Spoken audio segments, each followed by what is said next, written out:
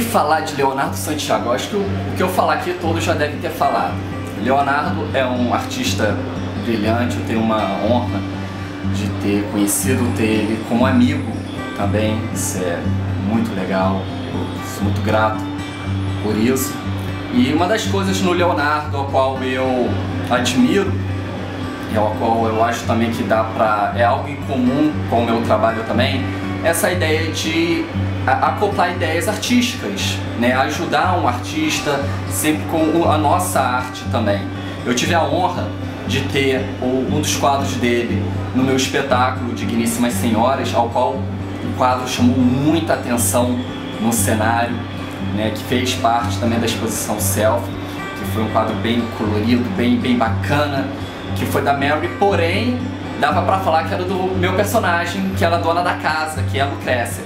Então combinou muito, muito, muito mesmo, foi muito legal. E eu tenho uma admiração por ele, não só como artista, como profissional, mas também como pessoa, um grande ser humano.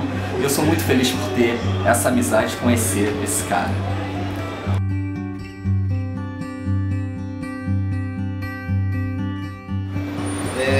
Você poder ensinar o ofício da, das artes, né?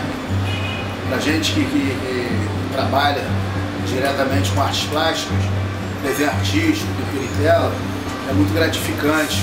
Alguns alunos eles acabam se destacando, né? eles acabam nos dando um retorno. E isso é, pra gente como professor, é, é, é muito válido. Das situações que realmente marcou minha vida como professor foi na cidade de Angra dos Reis, no período que eu trabalhei na Associação Pestalozzi. Eu tive um aluno lá, entre outros que eu tive, né, mas teve o Luciano da Costa, que ficou marcado realmente na minha carreira como professor.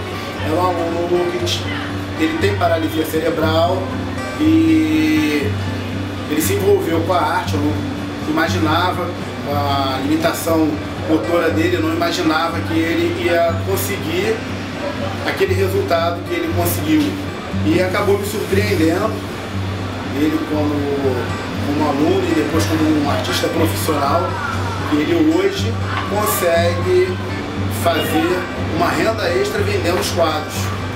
Inclusive ele já participou de uma exposição individual, a exposição só dele, no Teatro Municipal da cidade de Angra dos Reis.